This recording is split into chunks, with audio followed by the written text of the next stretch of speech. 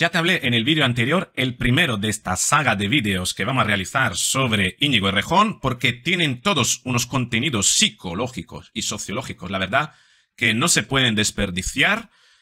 Em, lo que tenemos, la verdad que es una cuestión en capas, te lo dije en el vídeo anterior, hay varias capas de interpretación de este caso, la capa psicológica, cuestión de salud mental o psicopatía, para esto en este vídeo vamos a analizar su comunicado, pero incluso podemos dejar para otro vídeo el análisis de las denuncias, que es súper interesante. La actriz Elisa Mulia acaba de eh, denunciarle, de presentar, creo que una denuncia, una querella, no sé muy bien el término jurídico, donde una serie de declaraciones y a través de las declaraciones que han salido ayer, mensajes, en fin, lectura directa de cosas que han ocurrido, podemos hacer un análisis, aproximarnos, una aproximación a un prediagnóstico ¿eh? sobre su personalidad dentro, dentro de las personalidades oscuras la tríada oscura de la personalidad, psicópata, maquiavélico, narcisista, qué rasgos tiene, etcétera.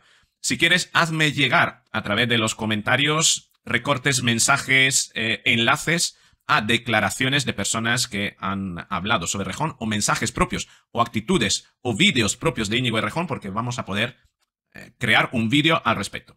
En este vídeo vamos a analizar básicamente la carta, su personalidad, Vamos a extraer de la carta una serie de lectura porque la carta hay que leerla entre líneas, hay muchísimas cuestiones y sobre todo vamos a aclarar, ¿estamos ante una persona con problemas de salud mental?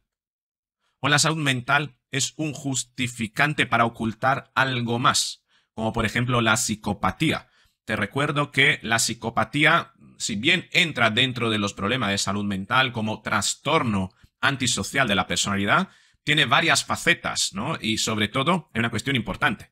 La psicopatía no es tratable a nivel psicológico, es más, tiene un grave riesgo a la hora de tratarle porque incrementa, curiosamente, las estrategias de las que va a hacer uso el mismo psicópata para afinar precisamente su caza, hacerse más poderoso. La terapia psicológica no funciona con los psicópatas. Los psicópatas no son tratables. No se le puede hacer terapia. En la medida en la que se le hace terapia, ellos aprenden cómo ser aún más eficaces. Esto es tremendo. Así que estamos ante la posibilidad de un caso de psicopatía o un problema de salud mental que se pueda resolver a nivel terapéutico. Ah.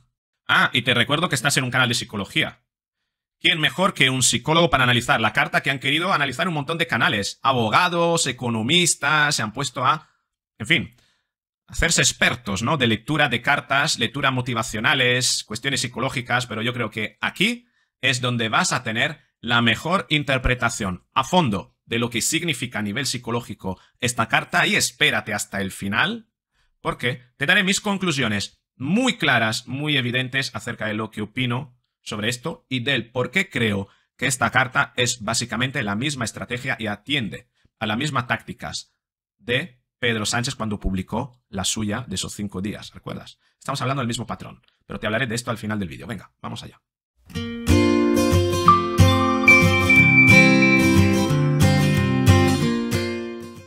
La verdad que si te puedo decir algo de manera anticipada sobre la carta de Íñigo Errejón, es que se trata de una obra maestra de luz de gas. La misma carta en sí donde él admite sus problemas es pura luz de gas. Es la mera demostración, la mejor demostración de que Íñigo Errejón practica este tipo de tácticas con las personas. Y en esa carta la sigue practicando de manera compulsiva. Yo creo que ha llegado a un punto en el que su personaje se ha comido a la persona, si es que en algún momento persona había, porque tiene toda la pinta de ser como un caparazón, una, persona construida en base a la adquisición de valores eh, y, cuestiones, imágenes socialmente aceptadas que él aprende que son socialmente aceptadas, se la pone de manera postiza y actúa de acuerdo con esa máscara con el fin de engañar a las personas.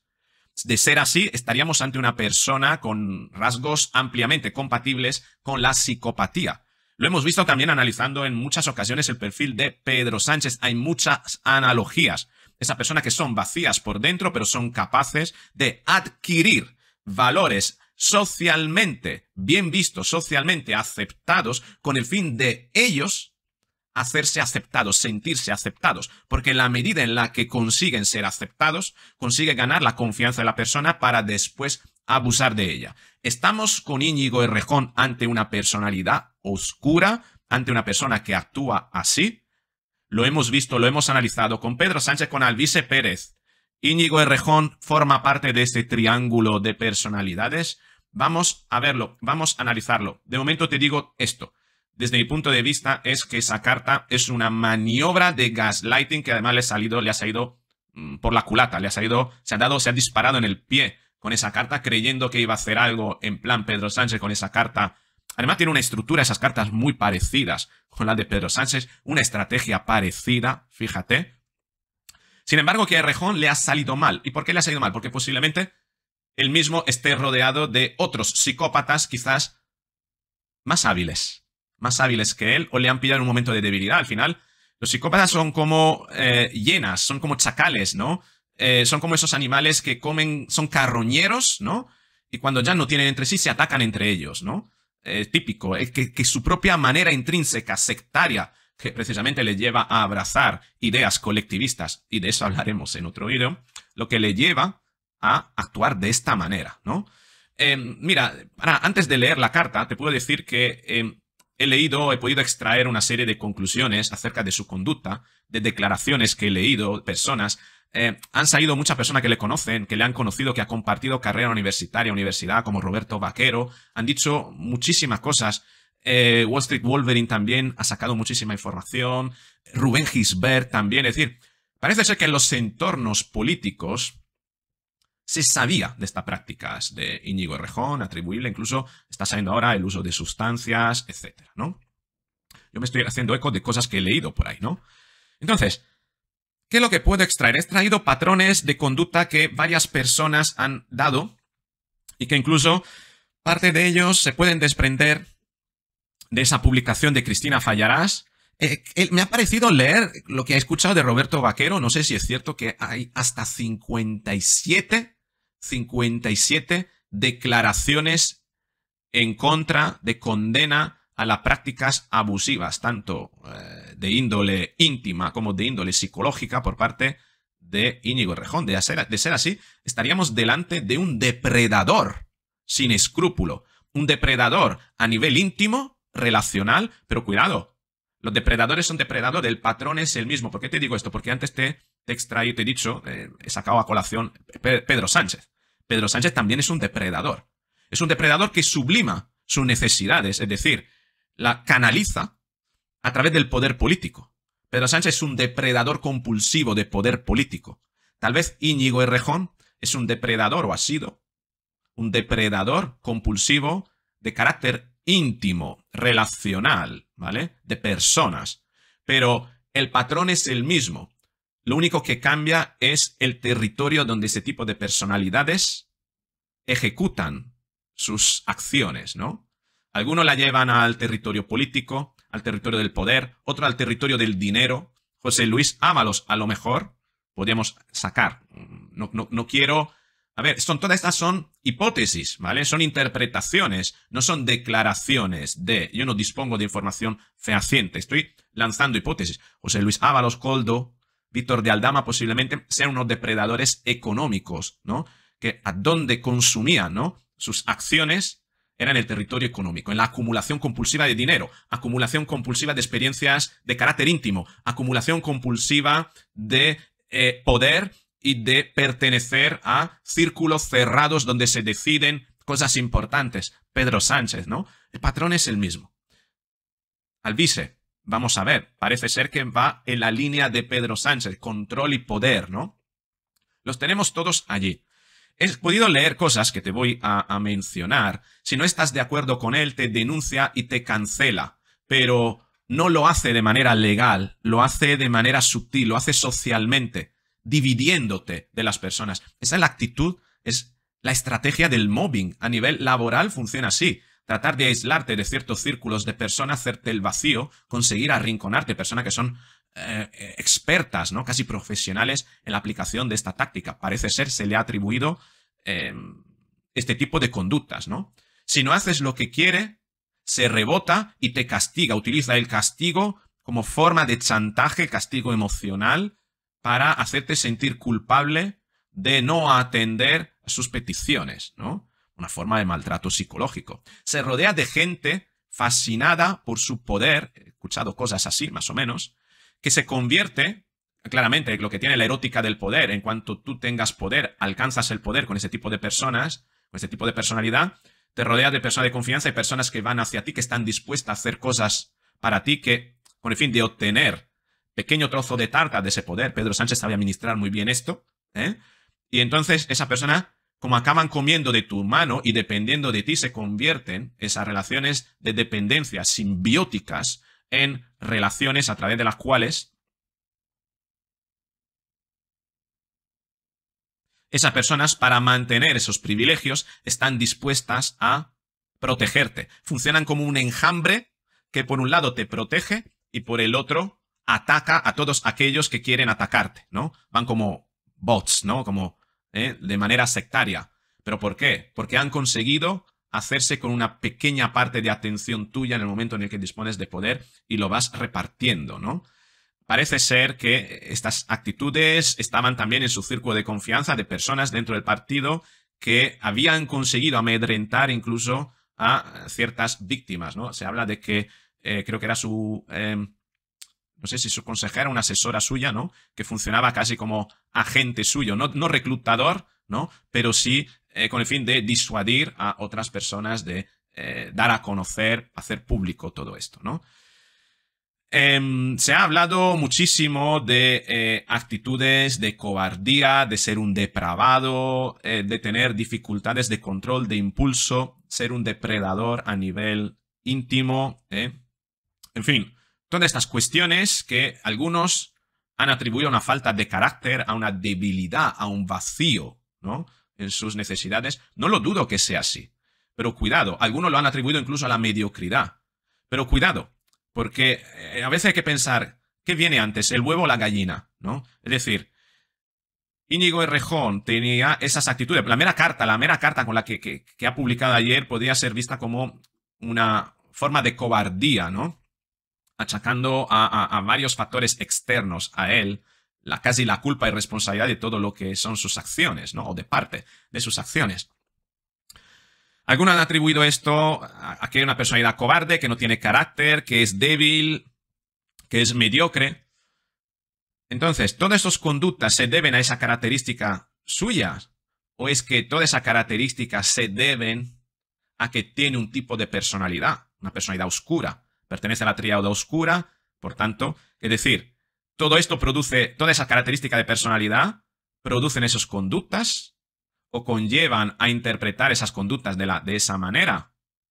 ¿O es que él es así y por tanto tiene esas conductas? No sé si me explico. Es decir, tenemos aquí, estamos aquí ante una persona con rasgos de psicopatía y que la gente, no viendo la psicopatía, interpreta como que una persona mediocre que se deja llevar por el vicio, que eh, es débil para hacer frente a las tentaciones, que tiene dificultad para controlar el impulso. Es decir, todas esas cuestiones, ¿no? son consecuencia de la psicopatía y la, gente simplemente le juzga por ser así y no está viendo que a lo mejor está ante, estamos ante un perfil psicopático, ¿no?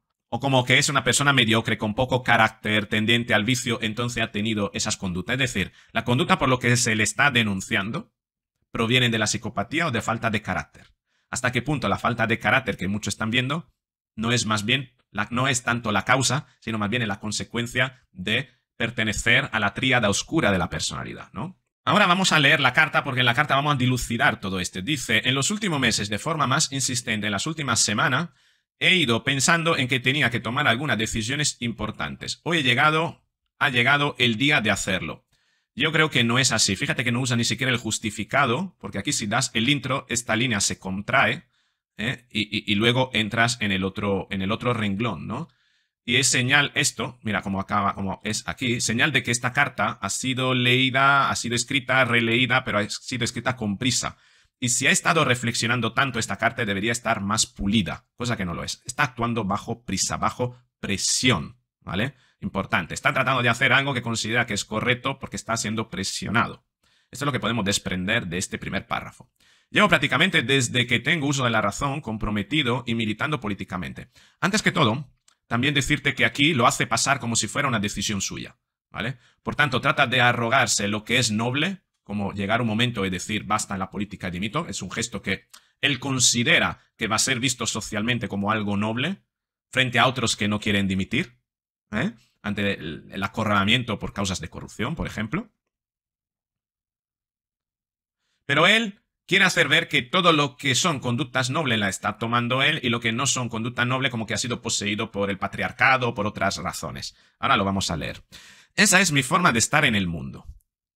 Pero desde hace 10 años ocupo posiciones de representación pública en la política institucional y de altísima visibilidad y exposición mediática. He tenido el privilegio de defender las ideas que considero más hermosas y justas y de hacerlo durante una de las décadas más intensas, pero también más duras de la política española. Eso conlleva mucha experiencia aprendizaje, motivo de orgullo, pero también genera un tipo de vida, una cotidianidad, una subjetividad, un tipo de vínculos con el ámbito político y con la fama y con los demás que pasan factura. Es decir, la vida política te permite llevar adelante una causa noble, pero te desgasta en ese proceso. Y aquí tenemos ya un primer atisbo de que todo lo que él te va a contar a continuación no es fruto de sus intenciones, no, porque él tiene intenciones y valores nobles que ha defendido. Que, claro, pero lo que le está pasando ahora es fruto de la vida política, es el sistema político que le ha vuelto así, casi como eludiendo sus responsabilidades, como si todos los políticos y toda la casta política acaba corrompiéndose por el mero hecho de estar en la política. A lo mejor es así, pero lo que podemos señalar de esta parte es que está iniciando, preparándote a que le quites responsabilidad de sus acciones. El ritmo y el modo de vida en la primera línea política durante una década han desgastado mi salud física, mi salud mental y mi estructura afectiva emocional. Se está victimizando. La política me ha hecho así, tal como estoy ahora. Creo que esto es algo que en mayor o menor medida experimenta toda y todo el que está en esa posición durante un tiempo prolongado. Pues entonces no estemos, no, no, no demos a los políticos tanto tiempo. No construyamos, no contribuyamos a que la política se profesionalice con gente como Pachi López que vive de la política toda su vida y que al final el único sitio que tienen para seguir es en la misma política.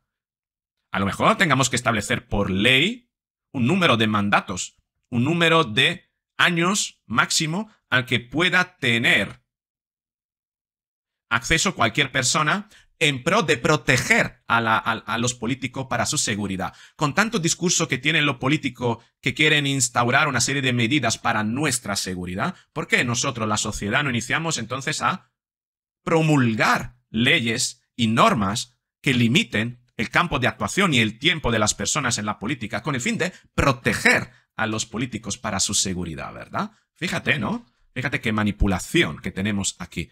Aquí prácticamente está diciendo que la actividad política produce esto prácticamente a todos y nos está dando el argumento de que a lo mejor hay que hacer cambios en la política, que no se puede profesionalizar la política, que las personas pueden estar en política, deben estar en política un número de hora determinada a partir de ahí hacer pausa. Al igual que existen normas para los conductores de camiones que no pueden conducir un camión durante X horas y más allá tienen que hacer una pausa, pues a lo mejor esto hay que instar a los políticos y que no vivan comiendo de la política hasta pervertirse a un nivel que ya no tienen vía de salida. Y lo único que pueden hacer es mantenerse en la política, lo cual es peor. Eso genera pues una casta política cada vez más corrupta, ¿no? Seguimos con el siguiente. En la primera línea política y mediática se subsiste y se es más eficaz, al menos así ha sido mi caso, con una forma de comportarse que se emancipa a menudo de los cuidados, de la empatía y de las necesidades de los otros. Los cuidados en la empatía, es decir, que cuando estás en la primera línea política tiene que carecer de toda empatía. Entonces lo que está diciendo es que a la carrera política a lo más alto de la carrera política solo pueden llegar los psicópatas, que son los que carecen de empatía o los que se despojan de esa empatía y se convierten en psicópatas, o mejor dicho, en sociópatas. La diferencia esencial entre un psicópata y un sociópata es que el psicópata nace y el psicópata se convierte en tal por efecto de sus experiencias sociales que le deprivan, le privan prácticamente ¿eh? le despojan de ciertas habilidades emocionales y les desconectan de sí mismo. Pero que a la postre, en sus actuaciones, son lo mismo. Quiero decir, los, sociópatas son psicópatas, ¿no? Lo único que el proceso el que, a través del cual llegan ¿eh? a ello, pues es, eh, es diferente, básicamente. Pero eso es significativo porque está admitiendo que la vida política de primera línea está compuesta básicamente de una clase de psicópatas, que estamos siendo gobernados de psicópatas. Y entonces nos está dando mayores razones para limitar al máximo el campo de actuación de los políticos. Esto genera una subjetividad tóxica que en el caso de los hombres el patriarcado multiplica con compañeros y compañeras de trabajo, con compañeros y compañeras de organización, con relaciones afectivas o incluso con uno mismo. Es decir, ¿qué coño es esto de la subjetividad tóxica? Que te vuelves psicópata, básicamente.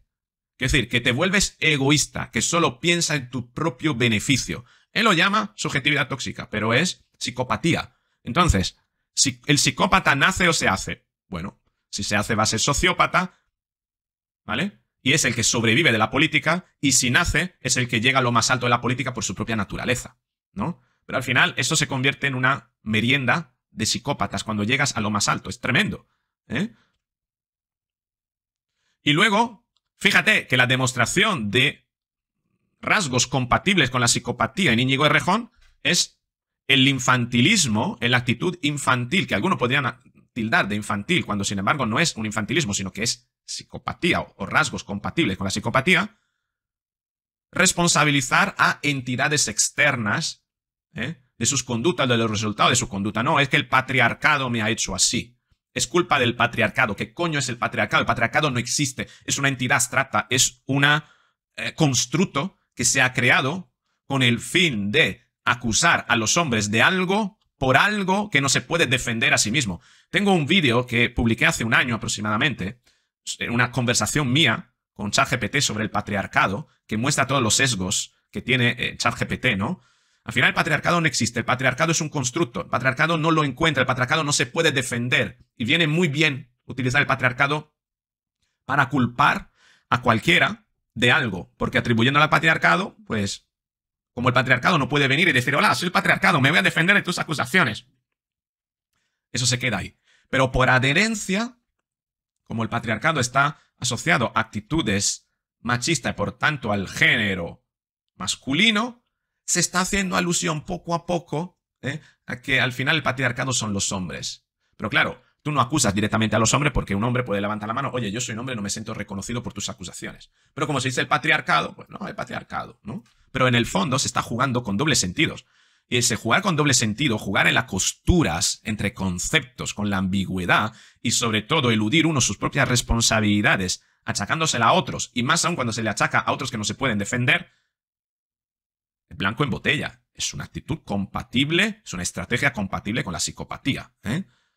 Esto genera una subjetividad tóxica, todo esto lo hemos leído, y ahora viene a él. Yo, tras un ciclo político intenso y acelerado, he llegado al límite de la contradicción entre el personaje y la persona. Es decir, aquí está admitiendo que en la política tienes que crearte un personaje. Está admitiendo que él es un caparazón vacío y que tuvo que adquirir máscaras con el fin de sentirse aceptado en determinados entornos sociales. Y le ha tocado, por circunstancia, el de la izquierda, por afinidad, quién sabe, ¿no? Pero que al final él está vacío por dentro. Él ha construido un personaje. Él ni siquiera sabe cuál es la persona, posiblemente. ¿no? Y eso también es otro rasgo compatible con la psicopatía. Te creas un personaje para rellenar ese caparazón vacío que tienes a través de conceptos postizos que un día lo tienes y otro día cambias de opinión. Te suena, ¿verdad? Entre una forma de vida neoliberal y ser portavoz de una formación que defiende un mundo nuevo, más justo y humano, la lucha ideológica es también una lucha por construir formas de vida y relaciones mejores, más cuidadosas, más solidarias y por tanto más libres. No se le puede pedir a la gente que vote distinto de cómo se comporta uno, de cómo se comporta en su vida cotidiana.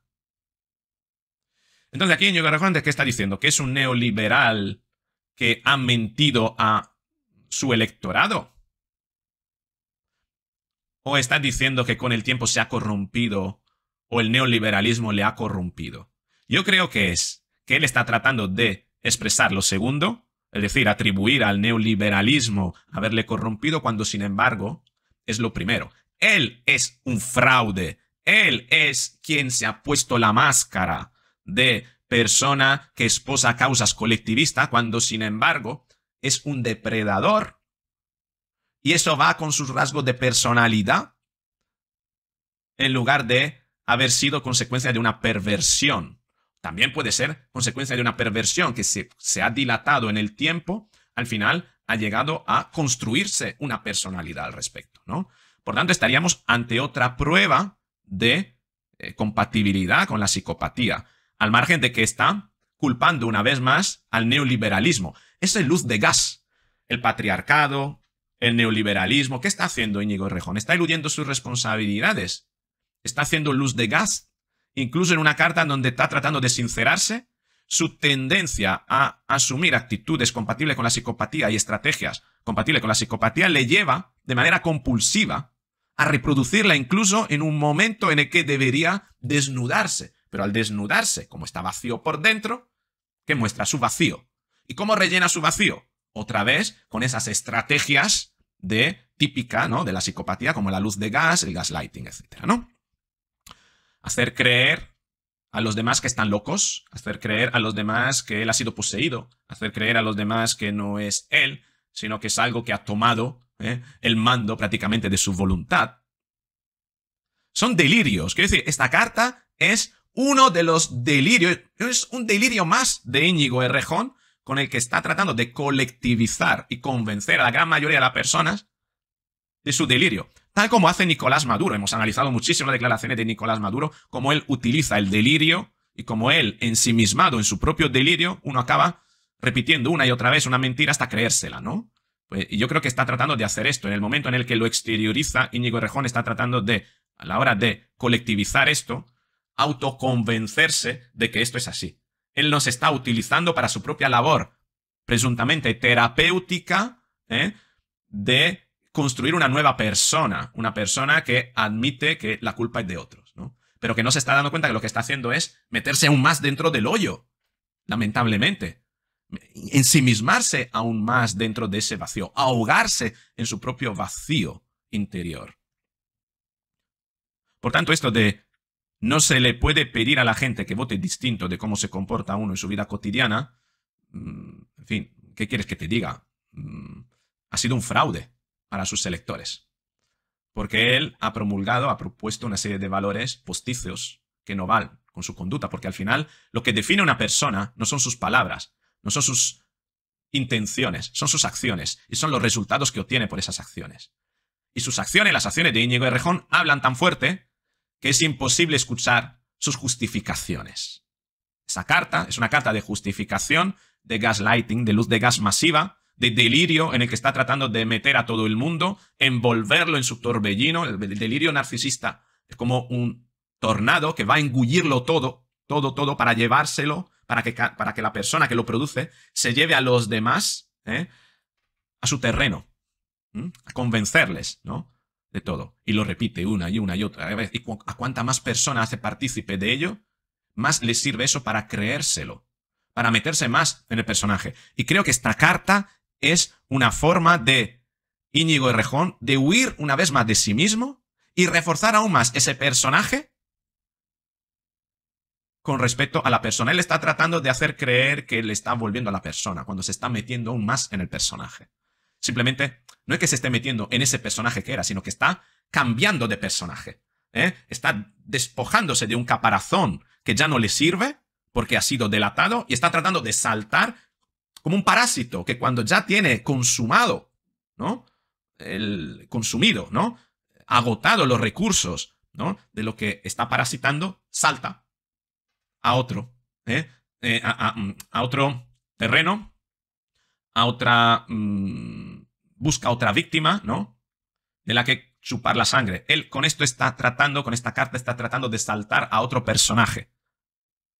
Pero no está volviendo a sí mismo, porque sí mismo lo tiene perdido. Tal vez nunca estuvo. Tal vez él nació así, o tal vez se hizo así desde las fases tempranas, ¿no? Y, prácticamente lo que era un, un Íñigo Errejón, un núcleo de Íñigo Errejón, se ha quedado en prácticamente nada, ¿no?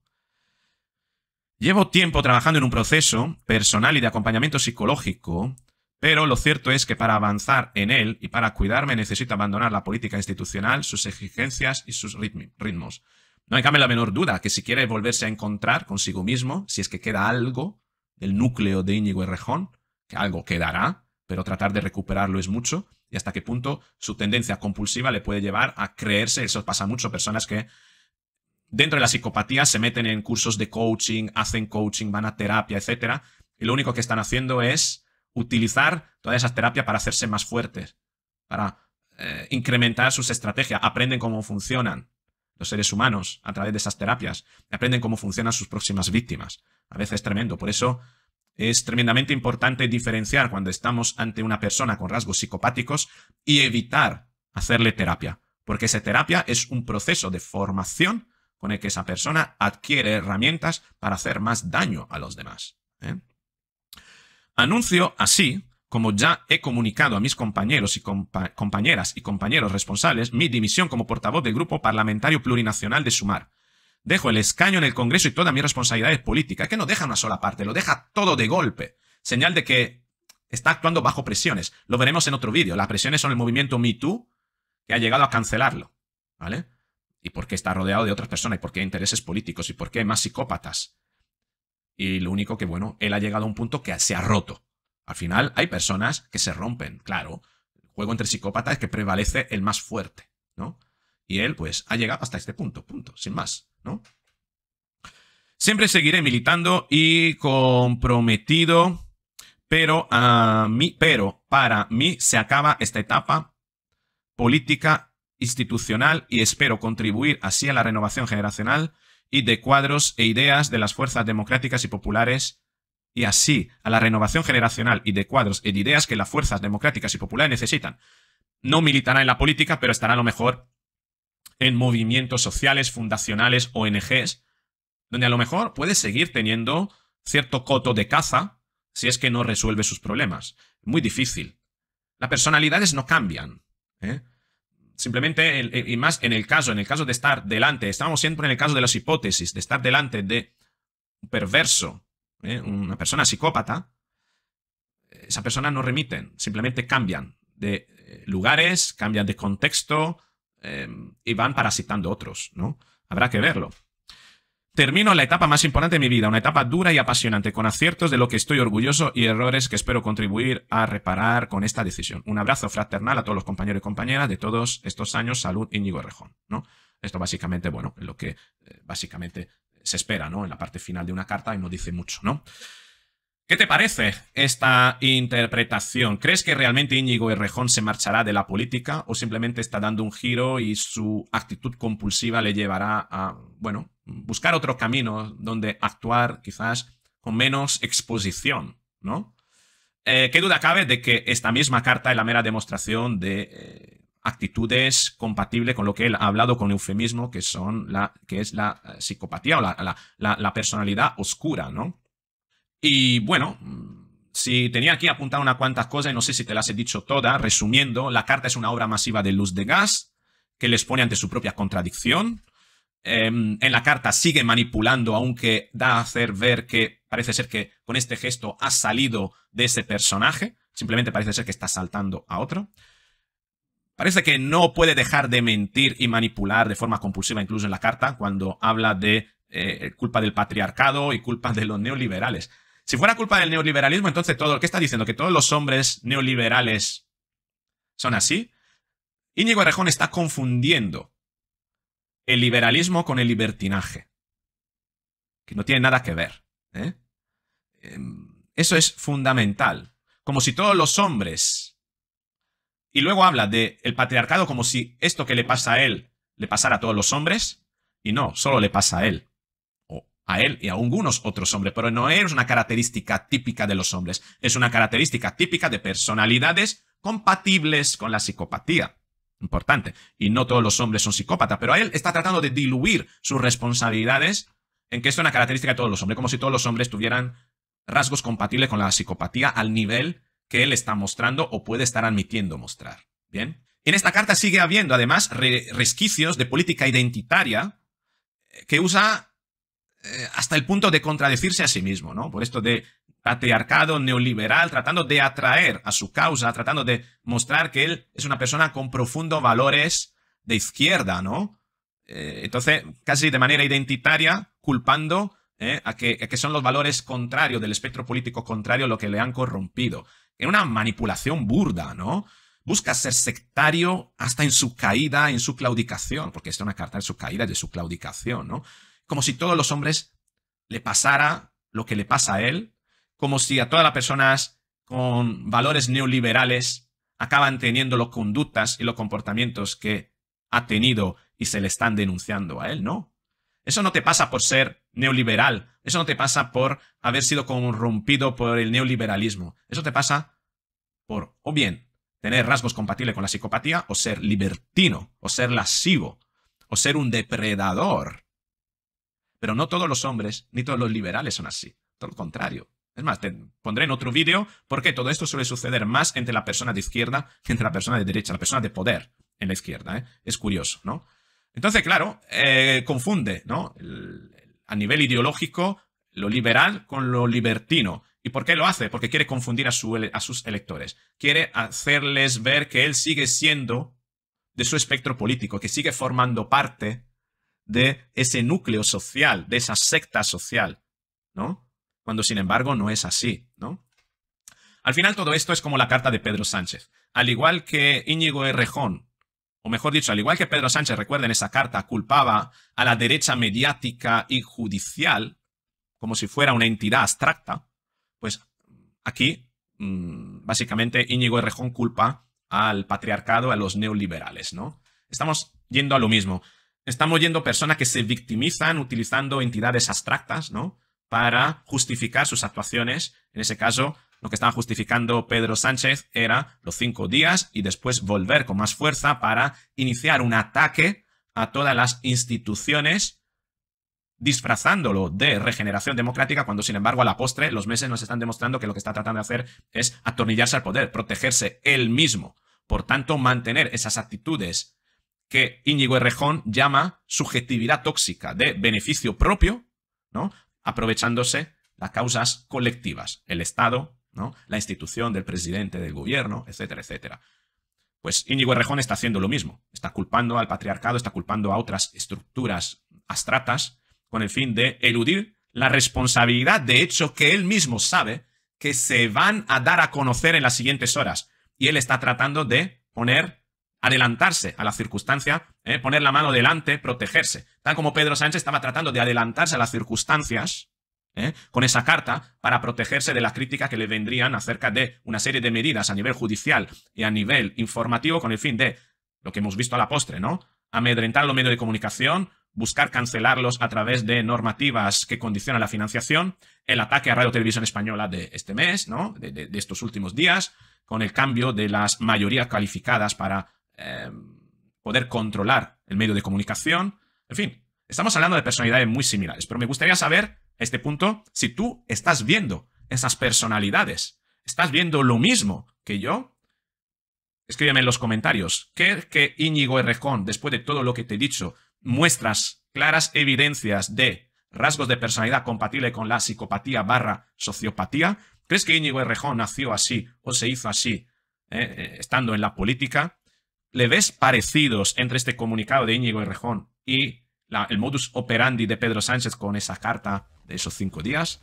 Te espero en los comentarios. Si te ha gustado el vídeo, dale al me gusta, compártelo, suscríbete, activa la campanita y nos veremos en el próximo vídeo.